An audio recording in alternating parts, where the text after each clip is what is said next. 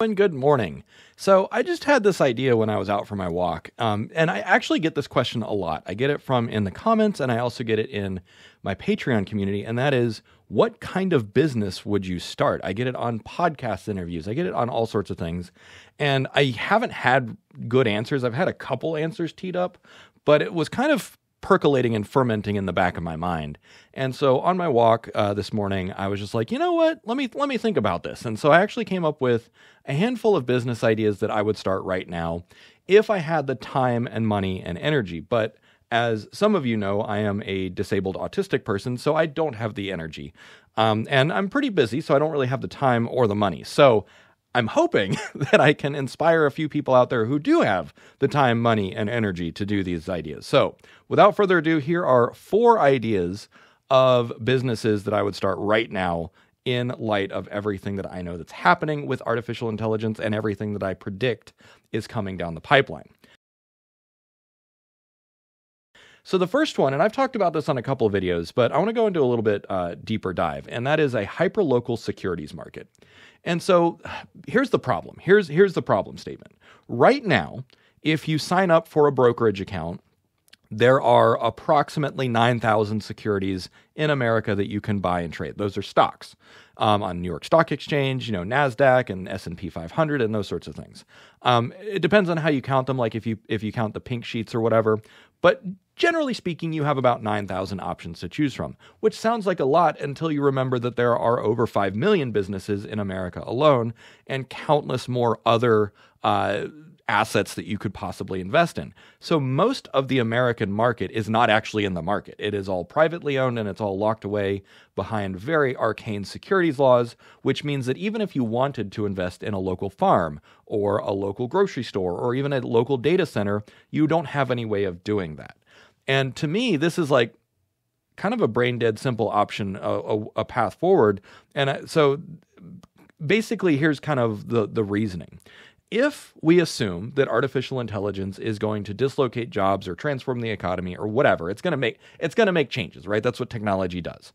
Um, it's going to make changes, and uh, those who own the data centers are going to be making most of the money.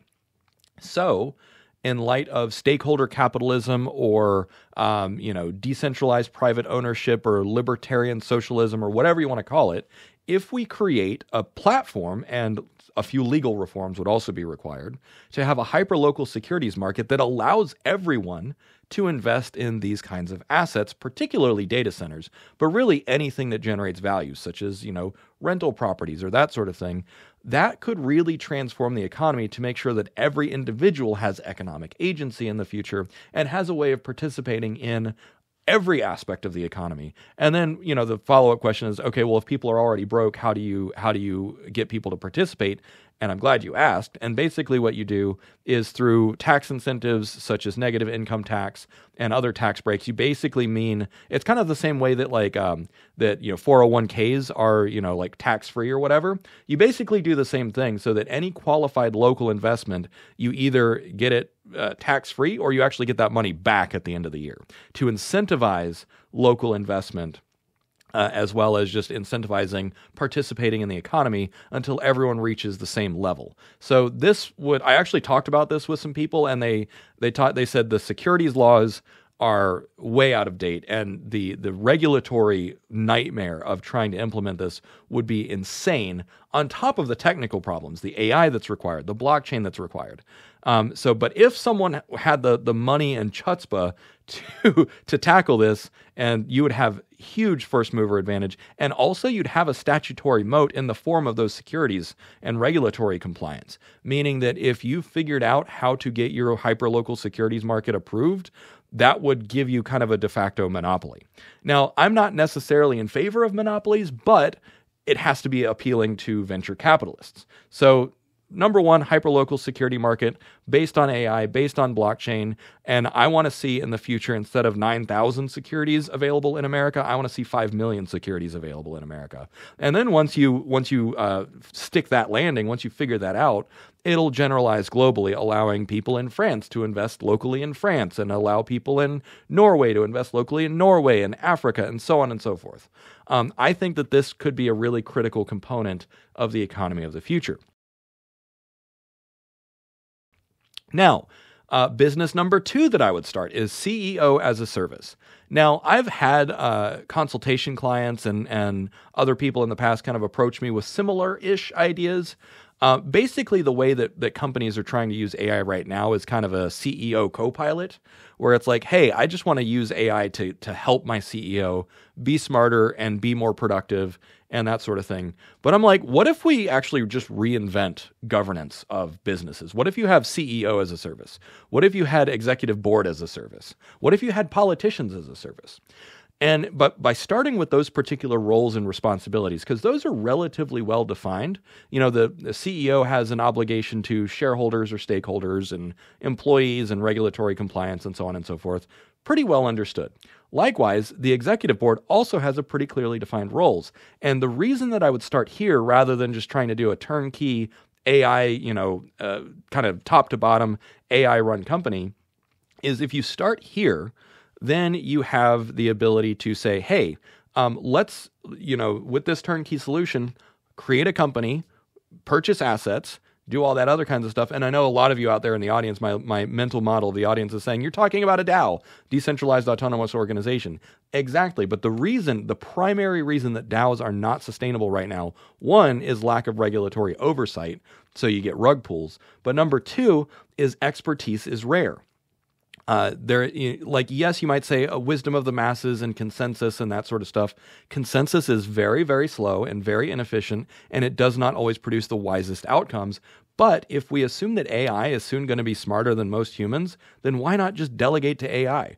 Um, I was watching the um, the the interview with Bryan Johnson, the the longevity dude, and I know I've said mean things about him in the past, but I actually listened to him for three hours yesterday, and I actually agree with most of what he says. So I'm coming around um, on on what he said. Anyways, but he like what he did. His experiment was, can I make an AI an AI algorithm that's better at running my life than me? And he said the answer to him is unequivocally yes. Now, obviously, not everyone wants to hand the keys over of their life to an AI algorithm yet, but we're getting there. And if AI, hypothetically, could be demonstrated to be a better CEO than a human, why not? So I would start building that right now. I think that I think that GPT-4 and Claude 3 are probably close to smart enough, at least to make sh- small, short-term tactical decisions that are superior to humans. Certainly smarter than some humans that I know, absolutely, far and away. Um, but if you could get this as a turnkey service, where it's basically, hey, hire this, and then you just carry out the will of your virtual CEO, great. Um, so that's that's idea number two. So, idea number three, and I've talked about this before, I've read about it in my books and I've talked about it quite extensively, is just personalized AI entertainment as a subscription. Basically, like Netflix, but AI and bespoke. So, that would be personalized novels, personalized music, personalized movies, personalized video games. We're not quite there yet. The, the models are not quite good enough to do all this, like, you know, right off the fly, but we are really close we are really, really darn close. And so now is the right time to build that business so you have the infrastructure and the investment. And you probably could do at least short stories and music. Um, like on a uh, personalized uh, short stories and music, and maybe even maybe by the end of the year, like um, like anime, you know, like personalized anime. Uh, but yeah, I think you you now is now would be the right time to do that because again, you know, it's coming it's coming soon, it's coming fast. Um, and there's not, I mean, it's a pretty obvious business model, I think. Uh, Netflix proved that, you know, big data and streaming and that sort of stuff. Um, and the models are pretty cheap. Like you can generate lots and lots of music and images, and soon you're going to be able to do end to end video all pretty much automatically. Uh, so yeah, I don't, uh, honestly, I think that's probably the easiest, most straightforward service. Um, now, it, because it's easy and straightforward, it's going to be super, super competitive. So this is probably going to be the, one of the hardest ones because you're going to be competing with Disney and Amazon and Netflix and everyone else. So take that one with a grain of salt. Um, number four is big data curation. So one thing that occurred to me is all these models that we're using, they keep getting updates. So they're only about six months out of date. And it, and it occurred to me this is going to be a perpetual service where forever and anon, uh, like for the rest of human history, however long or short it happens to be, we're going to need data to update models. And when you look at OpenAI and others signing huge deals with Reddit, with Twitter, with New York Times, and all these other places, they want data. So if you get really good at curating huge data sets, whether it's text or audio or video or news or tweets or whatever, um, there's a lot of money in that. There is a huge amount of money in that. And so, um, back in the day, some of the stuff that I did, I did automatic, uh, you know, Bitcoin trading, uh, crypto trading, um, and then also, you know, pointing machine learning at stock market data. I mean, those data subscriptions that exist are already out there and they're already really expensive. So this is a tried and true business model of just curating data where it's like here's an API, download your your your daily, you know, 8 terabytes of fresh data and have fun. Um, that would be a very very lucrative business model and it would be pretty easy to set up, I think. Now, I will add at the end one business model that I would not touch with a 10 foot pole, and that is anything to do with robots or drones. Now, one reason is just because that market is super, super saturated. Um, number two is hardware is really, really difficult to do. And then number three is military uses. Um, now, obviously, I understand that you know we live in a complicated, messy world, and militaries are necessary. I have no beef with that. I understand the ne- necessity of it, but I personally could not uh, live with myself if I built something that could be used for weapons. Um, but that's a personal personal thing. So, anyways, those are four business models that um, I think should exist. I would like to see all of them exist. In fact, I'm, I'm sure some of them probably already do. Um, but yeah, uh, so if someone has the time, money, energy, and inclination, please make them happen and then uh, let me know. Hit me up on Substack or Patreon. Cheers.